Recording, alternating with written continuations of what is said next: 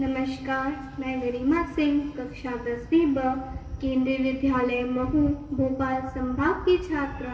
कला उत्सव के अंतर्गत पारंपरिक लोक संगीत गायन प्रतियोगिता में मध्य प्रदेश के निमाड़ क्षेत्र का एक लोकगीत लेकर प्रस्तुत हुई